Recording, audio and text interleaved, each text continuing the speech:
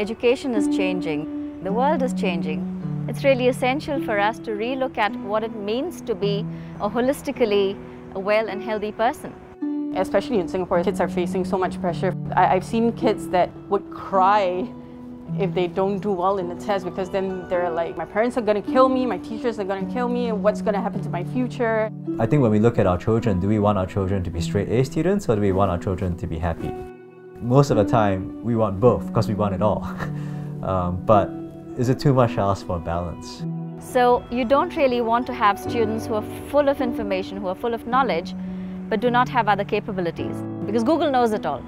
But if we can impact students to really know who they are, be good with who they are, feel love for themselves, that's going to be world changing. We're looking for a mindfulness program to implement. And when we looked around, uh, we found the Contentment Foundation's Four Pillar of Well-being program.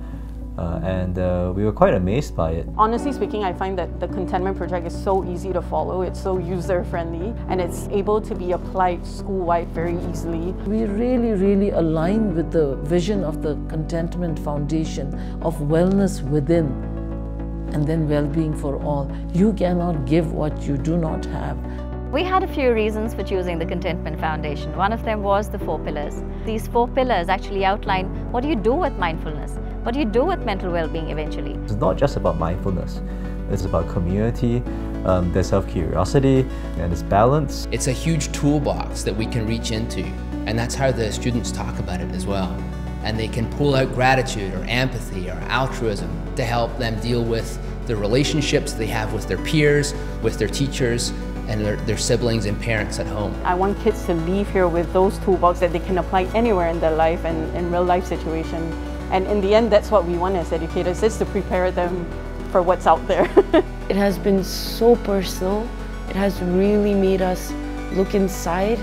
And with that, it's making the work that we have to do now so much clearer. I can't even articulate or begin to explain how much I feel inside. It's just been the most amazing experience. I think it's amazing because uh, if we do this right, our students will be teaching their parents uh, and their parents will be teaching some of these skills to the people around them. So schools are beacons for the community around them and we hope to not just teach students but everyone that interacts with our school. So that is really, really my aspiration, that this little tiny school could really be a model uh, for other schools. And if we can take it forward, I think then we will truly, truly be able to realize the vision of wellness within and well-being for all.